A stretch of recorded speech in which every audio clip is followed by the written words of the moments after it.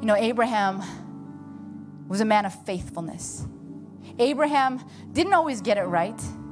He, he made lots of mistakes prior to this moment where he was able to faithfully say, Here I am. And he was able to do what God called him to do in radical obedience. But, you know, at the end of this study, if you've ever sat in a Bible study or if you've heard another message on Abraham and Isaac, oftentimes the application or the challenge from this message will be this contemplate in your heart what it is that you may have to lay on the altar before the Lord. What is the Isaac in your life that you need to lay on the altar?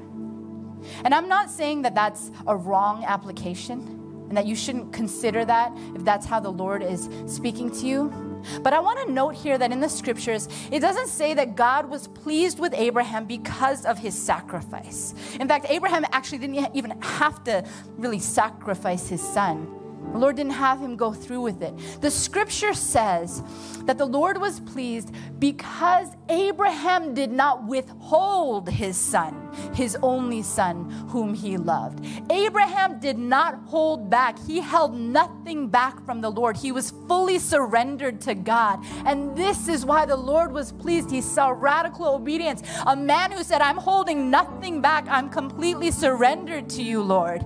And when Abraham made himself present to God and said, Here I am, that's when the great I am showed up and said, Here I am. And I will continue to show up for you over and over and over again.